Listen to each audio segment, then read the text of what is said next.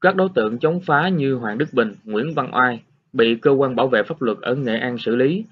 Một vài tờ báo ở nước ngoài thiếu thiện chí với Việt Nam lại tìm cách viết bài ca ngợi bảo vệ đối tượng bị bắt. Họ cố tình xem đối tượng chống phá như một nhân vật đang đấu tranh vì tự do dân chủ. Như báo Công an Nhân dân đã thông tin, ngày 27 tháng 9, Cơ quan An ninh điều tra Công an tỉnh Nghệ An đã bắt khẩn cấp đối tượng Nguyễn Viết Dũng, 31 tuổi, tự đặt tên là Dũng Phi Hổ, trú xã Hậu Thành, huyện Yên Thành, Nghệ An, về hành vi tuyên truyền chống nhà nước Cộng hòa xã hội chủ nghĩa Việt Nam.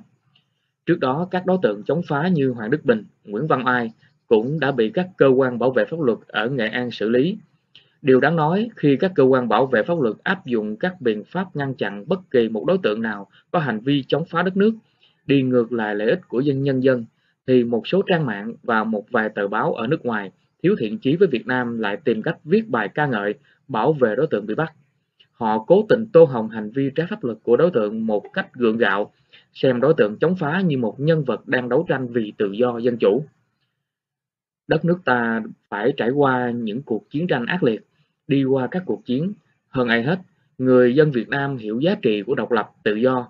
Để nhân dân được sống trong hòa bình hôm nay, biết bao người đã phải ngã xuống, bao thế hệ đã bị tù đài, hy sinh trong các ao lao tù của thực dân, đế quốc đến xâm lược đất nước Việt Nam. Vì vậy, khi các cơ quan bảo vệ pháp luật ở Nghệ An bắt Hoàng Đức Bình, Nguyễn Viết Dũng xét xử Nguyễn Văn Mai về tội tuyên truyền chống nhà nước Cộng hòa xã hội chủ nghĩa Việt Nam, hoạt động nhằm lật đổ chính quyền nhân dân, được người dân địa phương đồng tình và đề nghị xử lý nghiêm minh. Theo tài liệu của Cơ quan An ninh điều tra Công an tỉnh Nghệ An, đối tượng Nguyễn Viết Dũng, 31 tuổi, tự đặt tên là Dũng Phi Hổ, trú xã Hậu Thành, huyện Yên Thành, Nghệ An, từng bị khởi tố theo Điều 245 tội gây rối trật tự công cộng và bị xét xử 15 tháng tù. Nguyễn Viết Dũng không ăn năn hối cải, tu chí làm ăn mà lên mạng xã hội câu kết với các đối tượng khác để viết bài, chụp ảnh tuyên truyền xuyên tạc bóp méo sự thật để chống phá đất nước, phá hoại cuộc sống bình yên của nhân dân. Trước đó, cơ quan cảnh sát điều tra công an tỉnh Nghệ An đã tiến hành bắt giữ đối tượng Hoàng Đức Bình, 34 tuổi, tại xã Hưng Trung, huyện Hưng Nguyên, tỉnh Nghệ An về tội chống người thi hành công vụ. Lợi dụng các quyền tự do dân chủ xâm phạm lợi ích của nhà nước, quyền, lợi ích hợp pháp của tổ chức công dân, quy định tại Điều 257, 258 Bộ Luật Hình sự để điều tra xử lý theo pháp luật. Hoàng Đức Bình đã tham gia một số tổ chức hội nhóm chống đối như Nô Du Sài Gòn, Phong trào Lao động Việt. Ngày 25 tháng 12 năm 2015, Hoàng Đức Bình rải tờ rơi chống phá tại thành phố Hồ Chí Minh và bị phạt hành chính 24 triệu đồng. Bình không nộp phạt và trốn về Nghệ An. Tại đây, Hoàng Đức Bình thường xuyên đăng tải, chia sẻ trên Facebook cá nhân những thông tin tài liệu tuyên truyền về nói xấu chế độ, bình chọn tìm chọn hạt nhân kích động biểu tình, phá rối an ninh trật tự.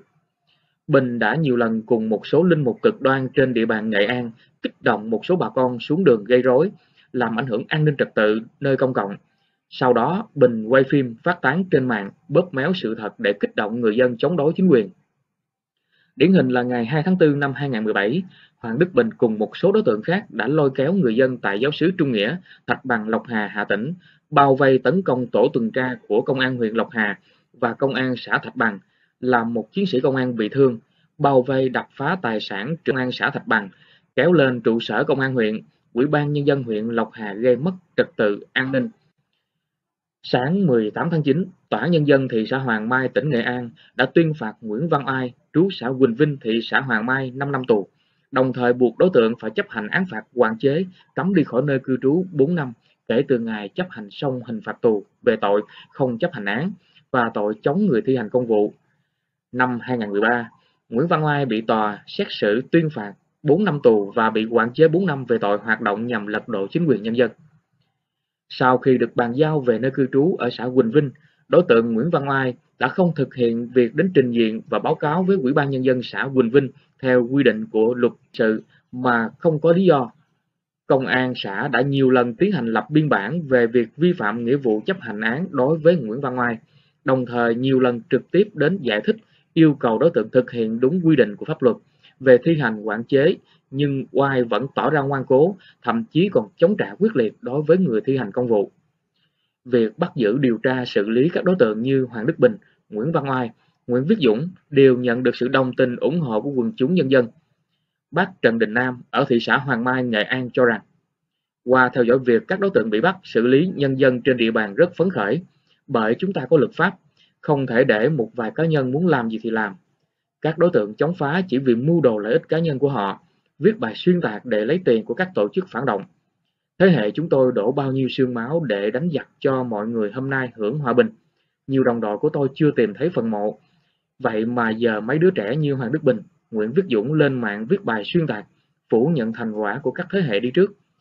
Chúng còn ngang nhiên treo cờ phản động, hô hào chống phá đất nước. Với các đối tượng này phải xử lý thật nghiêm, không để chúng tỉnh ngộ mà các đối tượng phản động khác nhìn vào, rút ra bài học cho bản thân. Chị Hoàng Thị Hải ở đường Nguyễn Thị Minh Khai, thành phố Vinh cho biết, Ngài Sử Nguyễn Văn Oai hay nghe bắt Nguyễn Viết Dũng, nhiều người dân sống xung quanh chị đều thở phào nhẹ nhõm, bởi mỗi lần thấy các đối tượng này lên mạng phỉ bán chế độ, bo nhò lãnh đạo, kêu gào chửi bới, bà con quanh khu phố chị rất bức xúc. Có người còn hỏi sao chính quyền chưa bắt xử lý chúng. Anh Nam, một doanh nghiệp trẻ ở huyện Đô Lương, Nghệ An, tỏ ra rất đồng tình với việc bắt giữ các đối tượng trên. Anh Nam tâm sự, đất nước hòa bình, không lo tu chí làm ăn, các đối tượng chống phá như Bình, Oai, Dũng chẳng có lý tưởng gì hết. Mục đích chính là chúng chống phá để hàng tháng, hàng năm nhận tiền của các tổ chức phản động, vung vén cho bản thân gia đình. Chính vì vậy, nhiều đối tượng hôm trước bị bắt, hôm sau đã thấy khai và nhận tiền này nọ rồi. Trao đổi với chúng tôi, đại diện các cơ quan bảo vệ pháp luật ở Nghệ An khẳng định, Nghệ An là vùng đất có truyền thống cách mạng, nhân dân yêu chuộng hòa bình, tự do, cố gắng chung tay xây dựng quê hương ngày một đổi mới giàu đẹp. Vì vậy, việc bắt giữ điều tra xử lý các đối tượng phản động, chống phá nhà nước là rất cần thiết, thể hiện sự nghiêm minh của pháp luật, luôn được nhân dân đồng tình, ủng hộ. Thưa các bạn, theo thông cáo báo chí của Cơ quan An ninh Điều tra Công an Nghệ An về việc bắt khẩn cấp đối với Nguyễn Viết Dũng, ngày 27 tháng 9 năm 2017, cơ quan này đã bắt khẩn cấp Nguyễn Viết Dũng, tức Dũng Phi Hổ, đăng ký thường trú tại Hậu Thành, Yên Thành, Nghệ An về tội tuyên truyền chống nhà nước Cộng hòa xã hội chủ nghĩa Việt Nam, quy định tại Điều 88 Bộ Luật Hình sự. Về con người, cũng như lý do tại sao Nguyễn Viết Dũng bị bắt thì mạng phép không làm bàn tại đây, vì đã có nhiều bài viết liên quan đề cập và mọi người cũng không xa lạ gì với kẻ chống phá ngông cuồng Nguyễn Viết Dũng. Tuy nhiên, ngay sau khi thông báo được công bố, đám rận chủ lại lớn tiếng bình luận và chia sẻ những thông tin không đúng sự thật. Trong số đó có bình luận về việc bắt Nguyễn Viết Dũng của Trần Bang khi vị này phân tích dưới góc độ pháp lý tố tụng hình sự cho rằng cơ quan an ninh điều tra phạm luật. Chưa có quyết định khởi tố vụ án, chưa có quyết định khởi tố bị can, chưa có quyết định bắt tạm giam Nguyễn Viết Dũng của Viện Kiểm soát chưa phê chuẩn. Nguyễn Viết Dũng chưa là bị can, bị cáo như Điều 79-80 Bộ Luật Tố Tụng Hình sự năm 2003. Nguyễn Viết Dũng cũng không phạm tội quả tang, không chuẩn bị gây án nghiêm trọng hay đặc biệt nghiêm trọng để phải bắt khẩn cấp như Điều 81 Bộ Luật Tố Tụng Hình sự năm 2003, Điều 63 Bộ Luật Tố Tụng Hình sự năm 2000 quy định. Vì vậy, Công an Nghệ An đã bắt cóc, giam giữ Nguyễn Viết Dũng trái pháp luật. Công an Nghệ An đã vi phạm Điều 123 Bộ Luật Hình sự năm 1999 có hiệu lực vào 1 tháng 7 năm 2000, tội bắt giữ người hoặc giam giữ người trái pháp luật. Đáng chú ý là, sau những phân tích pháp lý này, đám dân chủ đưa nhau chia sẻ thể hiện sự đồng tình, nhưng cũng trớ trêu thay, điều đó không thấy người phân tích pháp lý và người đồng tình với phân tích đó đều là một lũ ngu. Bởi lẽ, thứ nhất, theo quy định của Bộ luật tố tụng hình sự hiện hành, thì việc bắt người trước khi khởi tố vụ án hình sự chưa có quyết định khởi tố bị can, chưa có lệnh bắt về để tạm giam, chưa cần sự phê chuẩn của Viện Kiểm sát phê chuẩn vẫn có thể thực hiện. Điều đó có nghĩa, mặc dù cơ quan an ninh chưa khởi tố vụ án, chưa khởi tố bị can đối với Nguyễn Viết Dũng, thì việc bắt vẫn được thực hiện. Trường hợp bắt Nguyễn Viết Dũng lần này là trường hợp bắt khẩn cấp, được quy định tại Điều 81 Bộ Luật Tố Tụng Hình sự. Hơn nữa, Điều 81 quy định các trường hợp bắt cụ thể. 1. Trong những trường hợp sau đây thì được bắt khẩn cấp. Điểm A. Khi có căn cứ để cho rằng người đó đang chuẩn bị thực hiện tội phạm rất nghiêm trọng hoặc tội phạm đặc biệt nghiêm trọng. B.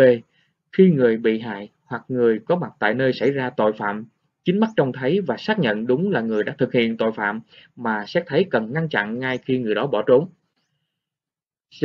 Khi thấy có dấu vết của tội phạm ở ngoài hoặc tại chỗ ở của người bị nghi thực hiện tội phạm và xét thấy cần ngăn chặn ngay việc đó hoặc người đó bỏ trốn hoặc tiêu hủy chứng cứ. Quy định này cho thấy việc bắt người theo quy định của điều luật này có 3 trường hợp, nhưng Trần Bang chỉ mới ít ngồi đã giếng nhận định không chuẩn bị gây án nghiêm trọng, đặc biệt nghiêm trọng để phải bắt khẩn cấp như điều 81 Bộ luật tố tụng hình sự năm 2003. Hoàn toàn có thể rơi vào hai trường hợp còn lại, cũng cần phải nói thêm. Đặc điểm của trường hợp bắt khẩn cấp lần này để bảo đảm tính kịp thời trong việc ngăn chặn tội phạm khi cơ quan điều tra không cần phê chuẩn của Viện Kiểm sát trước khi thi hành việc phê thực hiện sau khi bắt người. 4. Trong mọi trường hợp, việc bắt khẩn cấp phải được báo ngay cho Viện Kiểm sát cung cấp bằng văn bản kèm theo tài liệu liên quan đến việc bắt khẩn cấp để xét phê chuẩn. Đã không hiểu biết pháp luật lại còn chém gió, mà đám ăn theo lại ngu dốt khi ủng hộ, chia sẻ cái ngu này của Trần Bang.